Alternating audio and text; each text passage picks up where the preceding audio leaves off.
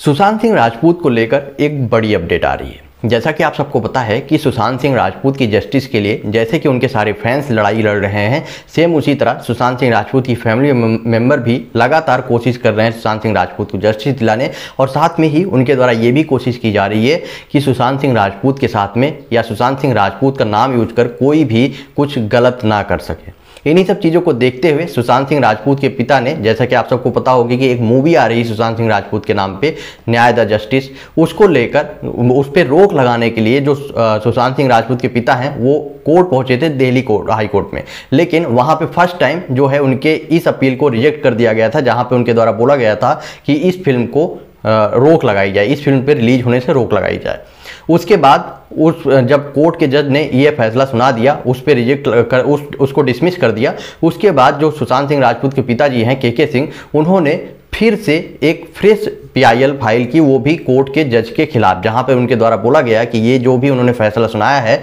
वो गलत है। इस फ़िल्म पे रोक लगनी चाहिए, क्योंकि सीबीआई भी इस केस में इंक्वायरी कर रही है ईडी की तरफ़ से इंक्वायरी चल रही है उसके बावजूद एनसीबी की तरफ़ से कार्रवाई चल रही है, उसके बावजूद भी इस तरह की मूवी जो है रिलीज़ की जा रही है।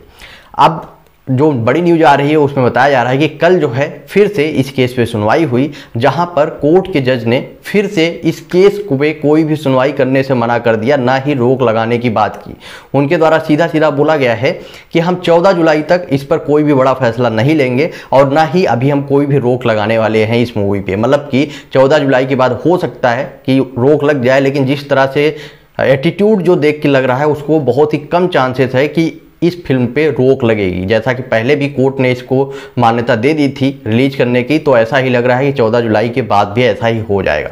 जबकि सुशांत सिंह राजपूत के फैंस और सुशांत सिंह राजपूत के पिता लगातार कोशिश कर रहे हैं कि इसको जो है किसी न किसी तरह से इस फ़िल्म पर रोक लगाई जाए, क्योंकि ये सिर्फ़ और सिर्फ़ सुशांत सिंह राजपूत का नाम यूज़ करके पैसा बनाने की कोशिश कर रही है। अब देखते हैं, जो कोर्ट के जज हैं, उन्होंने ऐसा क्यों कहा कि अभी हम इस पर कोई रोक नहीं लगाएँगे और 14 जुलाई के बाद ही इस पर कोई फैसला लेंगे। वो आने वाले टाइम पे पता चलेगा। लेकिन लगातार जो सुशांत सिंह राजपूत के फैंस हैं और फैमिली है, उनके द्वारा लगातार प्रेशर ज़रूर बनाया जा रहा है। आपका क्या ओपिनियन है इस तरह के फैसले पर? आप अपना ओपिनियन कमेंट बॉक्स में बताएँ और वीडियो को ज़्यादा से ज़्यादा शेयर करें।